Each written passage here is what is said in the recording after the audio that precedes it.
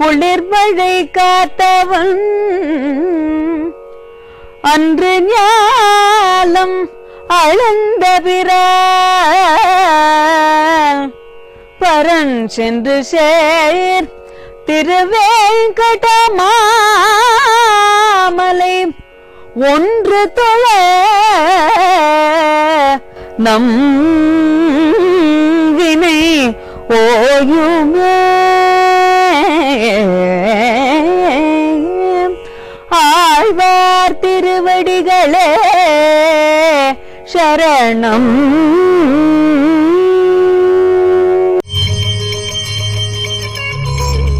अस्मद्गुरुभ्यो नमः माता पिता युवतयस्तनया विभूतिः सर्वं यदेव नियमेन मदन्वयानाम् आज्यस्य नः कुलपतेर्वकुलाभिरामम् శ్రీమత్తదంఘ్రియుగళం ప్రణమామి మూర్ధ్నా ఎవరి మాటలైతే మనుషులలో ఉండేటటువంటి అజ్ఞానాన్ని పోగొడతాయో అలాంటి మహానుభావులైనటువంటి వకుళభూషణులు మనకి అనుగ్రహించినటువంటి తిరువాయిముళి అనే దివ్య ప్రబంధంలో మూడవ శతకంలో మూడవ దశకంలో ఎనిమిదవ పాసురం తాలూకు అర్థాన్ని మనం తెలుసుకోబోతున్నాం. భక్తామృతం విశ్వజనానుమోదనం సర్వార్థదం అంటారు. సర్వార్థదం శ్రీ శఠగోపవాంగ్మయం అంటారు. శఠగోపులు అందించినటువంటి ఈ వాంగ్మయం సకలార్థాలని మనకి సాధించి పెట్టేది అని అద్భుతమైనటువంటి వైభవం కలిగినది అని మహానుభావులందరూ ఈ దివ్య ప్రబంధాన్ని ప్రశంసిస్తూ ఉంటారు. ఈ దివ్య ప్రబంధాన్ని తమకి నిత్యము చదువుకోవడానికి వీలుగా నిత్య జీవితంలో ఒక భాగంగా చేసుకున్న వారై ఉంటారు. అలాంటి చక్కటి గొప్పతనం కలిగినటువంటి ఈ దివ్య ప్రబంధంలో ఉండేటటువంటి పాసురాలన్నీ కూడా ఒక్కొక్క ఒక్కొక్క రత్నం లాంటివి. ఆ పాసురాలలో ఆ దశకాలలో ప్రధానంగా కలియుగ ప్రత్యక్ష దైవమైనటువంటి వెంకటాద్రినాథుని యొక్క వైభవాన్ని విశదీకరించేటటువంటి ఈ దశకం మరింతగా మంచి ఫలితాన్ని మనకి కలిగించేది అని అంటారు. ఆ వెంకటాద్రినాథుని యొక్క వైభవాన్ని ఇందులో చెప్పి తర్వాత వారిని శరణు వేడతారు మరొక దశకంలో ఆళ్వార్లు. ఆ క్రమంలో మనం ఇప్పుడు ఎనిమిదవ పాసురాన్ని తెలుసుకోబోతున్నాం. వెంకటాద్రినాథుని వైభవం కంటే మించినది వెంకటాచల వైభవం అన్నారు వెనుకటి పాసునంలో. మనం వెంకటాద్రినాథుని దాకా చేరనక్కరలేదు. వెంకటాచలానికి మనం చేరితే చాలు. అదే ఆ వెంకటాచలమే మనకి కావలసినటువంటి ఫలితాన్ని మనకి కావలసినటువంటి పురుషార్థాన్ని అందించేది అవుతుంది అని వెంకటాచల ప్రశస్తిని చేశారు వెనుకటి పాసునంలో.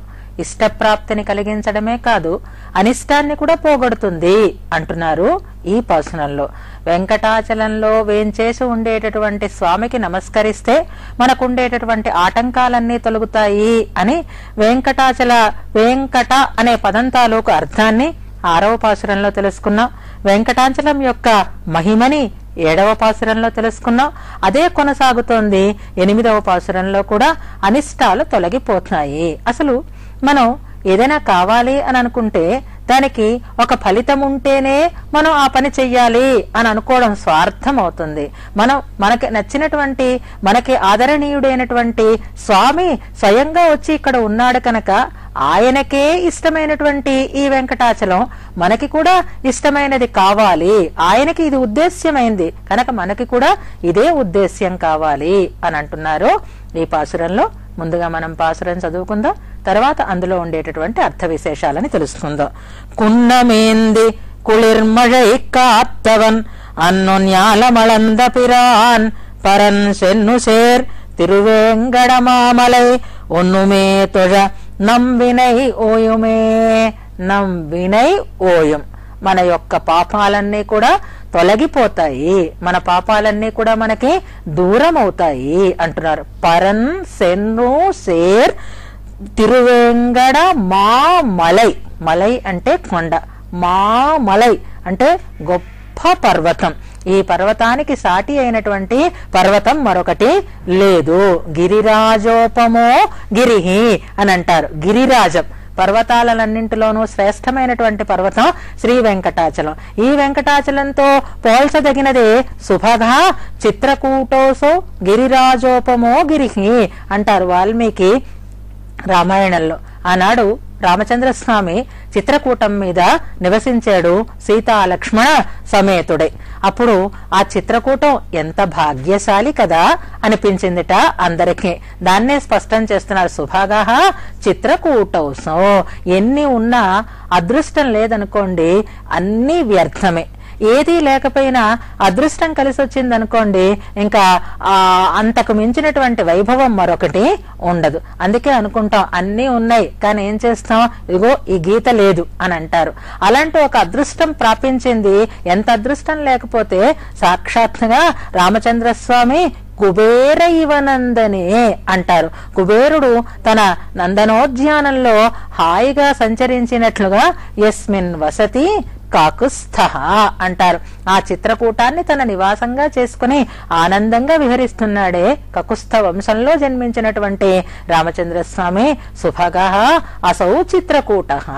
ఈ చిత్రకూట పర్వతం గొప్ప భాగ్యశాలి అని అంటారు గిరిరాజోపమో గిరి గిరిరాజమైనటువంటి వెంకటాచలంతో సాటి అయినటువంటి గిరి అని చెప్పుకోవాలి ఇక్కడ వ్యాఖ్యానంలో అనమాట అలాంటి గిరిరాజు సాక్షాత్తుగా స్వామే తనంత తానుగా వచ్చి ఇక్కడ నిలిచి ఉండడం చేత అనమాట పరన్ సెన్ను షేర్ తిరువేంగడ మామలై.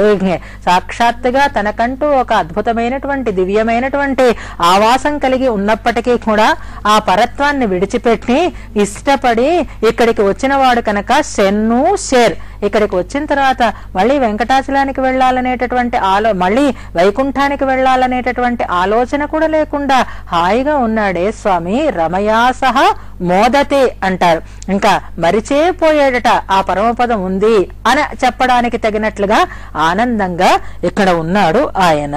అలాంటి ఆయన కేవలం పరాత్పరుడు మాత్రమే కాదు అంటూ కున్నమేంది? కుళిర్మഴై కాత్తవన్ అంటూ అవతారంలో ఉన్నప్పుడు ఆయన చేసినటువంటి రెండు విశేషమైనటువంటి చేష్టలని ఇందులో మనకి తెలియచేస్తున్నారు. గోవర్ధన పర్వతాన్ని ఆయన చేత పట్టి ఎలాగైతే ఆ రాళ్ళ వర్షం నుంచి ఆ గో గోప గోపకులనందరినీ గో- గోపీజనాన్ని గోపకులని గోవులని ఎలాగైతే కాపాడాడో అంటూ కున్నమేంది కుళిర్ మഴై కాత్సవన్ కున్నం అంటే కొండ. కొండని గురించి చెప్పేసరికల్లా ఈ పరమాత్మకి ఎప్పుడు ఉన్నా ఎలా ఉన్నా ఏ స్థితిలో ఉన్నా ఆశ్రిత రక్షణం చెయ్యాలి అంటే ఒక కొండ కావాలి అన్నట్లుగా గోవర్ధనోద్ధరణ సన్నివేశాన్ని ఇక్కడ చెప్తున్నారు. కలియుగంలో ఈ మనందరినీ కాపాడడం కోసం ఆయన ఒక ఆధారంగా ఎంచుకున్నది ఏది అంటే ఒక కొండ. అదే ఈ శేషగిరి ఈ వెంకటాచలం అని చెప్పబడేది. అర్చావతారంలోనూ కొండే అవసరమైంది ఆశ్రిత రక్షణానికి. అలాగే విభవావతారంలోనూ శ్రీకృష్ణునిగా ఆయన అవతరించినప్పుడు ఆశ్రితులని రక్షించాలి అంటే ఆయనకి అవసరమైనది ఒక కొండే ఆ గోవర్ధనం కూడా ఒక అచలమే. ఆనాడు కోపం తెచ్చుకొని ఇంద్రుడు రాళ్ళ వర్షాన్ని కురిపించాడు. ఆ రాళ్ళ వర్షాన్ని కురిపించి బాధ పెడుతూ ఉంటే ఆ వర్షం బారి నుంచి సం- రక్షించాలి అని అనుకున్నాడు. చిన్నవాడు ఆయన. కానీ చూడడానికి చిన్నవాడు కానీ నిజానికి రక్షణలో ఆరితేరినవాడు ఆయన. ఎవరైనా ఆర్తి పడుతూ ఉంటే చూసి సహించలేనివాడు ఆయన. అందుకే ఆనాడు తత్త తద్గోకులం సర్వం గో గోపీ జన సంకులం. గోకులం గో గోపీ జన సంకులం సర్వం అంతా కూడా అతీవార్తం హరిహి దృష్ట్వా. చాలా ఆర్తితో ఉంటే చాలా ప్రమాదంలో పడితే చాలా ఇబ్బంది పడుతూ ఉంటే అతీవ ఆర్తం హరిహి దృష్ట్వా మైత్రేయ అచింతయ తథా. వీళ్ళ ఈ కష్టాన్ని పోగొట్టడానికి ఏం చెయ్యాలి ఏం చెయ్యాలి అని ఆలోచించేట. వెంటనే పక్కనే ఉన్నటువంటి ఒక కొండని ఒక గొడుగుగా ఎత్తి ఆయన పైకి పట్టాడు అని అంటారు. కున్నమేంది? కుళిర్ మഴై కాత్తవన్ అనే ఒక సన్నివేశాన్ని ఇందులో చెప్తున్నారు. అది ఎలా ధరించాడు? అంటే అన్ను. అంటే ఆ రోజు కేవలం ఆ అక్కడ ఉండేటటువంటి ఆ ఊరిలో ఉండేటటువంటి వారిని అందరినీ సంరక్షించడం కోసం చేసినటువంటి ఒక పని మాత్రమే కదా అది. అదేం పెద్ద విశేషం కనుక ఎవరైనా కష్టం వస్తే తమకి యథాశక్తిగా సహకరించేటటువంటి స్వభావం కలిగిన వాళ్ళే అవుతారు అంటే అన్ను న్యాలం అళంద పిరాన్ అంటున్నారు. అన్ను ఆనాడు న్యాలం ఈ భూమినంతటినీ కూడా అళంద కొలిచినటువంటి పిరాన్ ఉపకారకుడైనటువంటి స్వామి. ఆనాడు వామన రూపాన్ని ధరించి ఆయన లోకాన్ని అంతటినీ తనదిగా చేసుకోవడం కోసం ప్రధానంగా ఇంద్రుడి కోసం బలిచక్రవర్తి దగ్గరికి యాచకుడై వెళ్ళాడు. ఇక్కడ వామనుడుగా బలిని యాచించి ఈ లోకాలని త్రివిక్రముడై కొలిచినటువంటి ఒక సన్నివేశాన్ని చెప్తున్నారు. శ్రీకృష్ణుడుగా గోవర్ధన పర్వతాన్ని ఎత్తి గో గోపి జనాన్ని కాపాడినటువంటి ఒక సన్నివేశాన్ని చెప్తున్నారు. ఒకటి ఒక ఊరి వారి కోసం చేసినదైతే మరొకటి మొత్తం లోకమంతటి కోసం చేసినటువంటి ఒక ప్రయత్నం అన్నమాట. ఆ రోజు ఆయన తన పాదంతో మొత్తం ఈ మూడు లోకాలని ఆక్రమించి ఉండకపోతే ఆ పాదస్పర్శ అర్హులైన వారికి అర్హులు కాని వారికి కూడా లభించేటటువంటి ఒక స్థితి ఉండేది కాదు. ఆయన పాదస్పర్శ కావాలి అంటే ఉపాసన చేసి ఆయనని పొందాలి. అలా ఏమీ అక్కర్లేకుండా రాళ్ళు మూళ్ళు అన్నట్టుగా ఉండేటటువంటి మొత్తం ఈ భూమినంతటినీ కూడా కొలవడంలో స్వామికి ఉండేటటువంటి ఒక ప్రేమ కనిపిస్తోంది. రక్షిత జీవలోకస్య స్వజనస్య చ రక్షిత అంటారు. మొత్తం జీవలోకానికంతటికీ రక్షకుడు ఆయనే.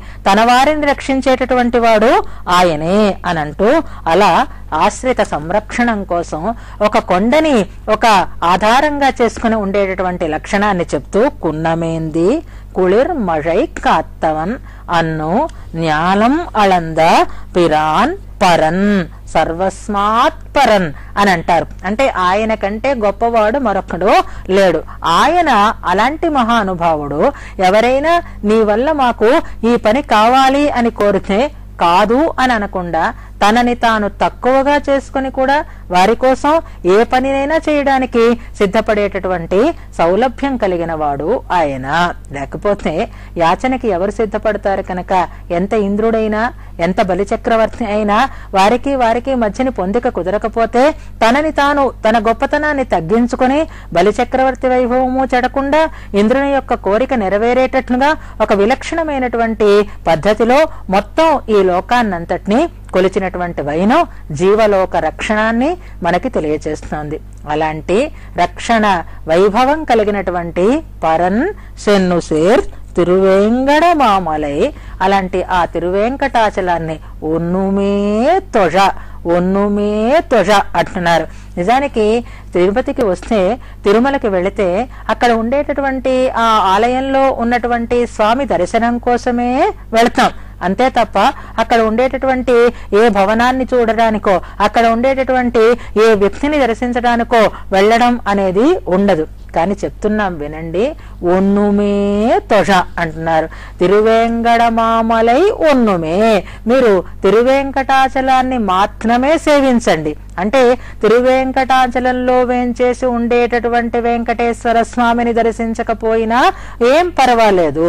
తిరువేంకటాచలాన్ని సేవిస్తే చాలు అంటున్నారు. కారణం ఏమిటి అంటే తిరువేంకటాచలానికే ఆ ప్రభావం ఉంది కనుక. తిరువేంకటాచలంలో వేంచేసి ఉండడం చేతే ఆ స్వామికి అంత వైభవం కలుగుతోంది అని అనిపించేటట్లుగా చెప్తున్నారు. వెంకటాద్రినాథుని దయలాంటిదే. వెంకటాచలానికి ఉండేటటువంటి వైభవం కూడా కనుక ఒన్నుమే తుష.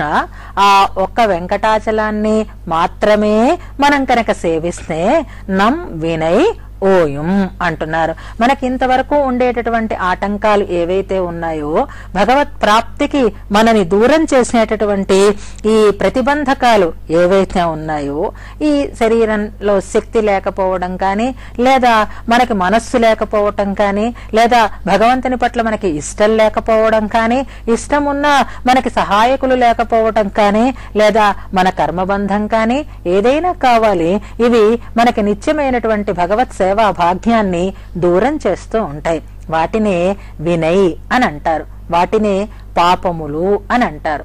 ఆ పాపాలను పోగొట్టగలిగేటటువంటి శక్తి కేవలం ఈ వెంకటాచలానికి ఉన్నది అని అంటున్నారు. వెంకటాచలానికి వెళ్ళి వెంకటాద్రినాథుని సేవించి ఆయనని ప్రార్థించి ఆయన అనుగ్రహాన్ని పొంది మనకుండేటటువంటి పాపాలను పోగొట్టుకుందాము అనే అంతవరకు ఆలోచించకండి. మీరు వెంకటాద్రినాథుని యొక్క అనుగ్రహాన్ని పొందినట్లుగానే వెంకటాచలం వల్ల ఆ ఫలితాన్ని మీరు పొందగలుగుతారు. వెంకటాచలమే మన పాపాలని పోగొడుతుంది. మనకి కావలసినటువంటి మోక్ష సామ్రాజ్యాన్ని అందించేది అవుతుంది అంటూ ఇంతకు ముందు ఉండేటటువంటి పాసురంలో ఇష్టాన్ని కలిగిస్తుంది అని చెప్పారు. ఈ పాసురంలో మనకుండేటటువంటి కష్టాలని తొలగిస్తుంది అని అంటున్నారు. కష్టం అంటే మరేదో కాదు. శారీరకంగా కలిగేటటువంటి బాధలు నిజానికి బాధలు కావు. ఆయన గొప్పవాడు అని అనడం కంటే ఆయన మనకి మన పట్ల ప్రేమ కలిగిన వాడు అని మనం తలుచుకుంటే అలాంటి ప్రేమ కలిగిన వాడిని తన మీద ఉంచుకోవడానికి తగినటువంటి ఒక భాగ్యాన్ని పొందినటువంటి ఈ కొండ ఉంది. దీని యొక్క ప్రభావం చాలా అమితమైనది కనుక ఆ వెంకటాచలాన్ని ఒక్కదానినే సేవించండి చాలు మనకు ఉండేటటువంటి ఈ పాపాలన్నీ తొలగిపోతాయి అంటున్నారు ఈ పాసురంలో ఆళ్వార్ తిరువడిగలే శరణం குன்றம் ஏந்தி குளிர்மழை காத்தவன் ஞாலம் அளந்த பிறான் பரன் சென்று சேர் திருவேங்கடமாமலை ஒன்று தொழ நம் வினை ஓயுமே. ஆழ்வார் திருவடிகளே சரணம்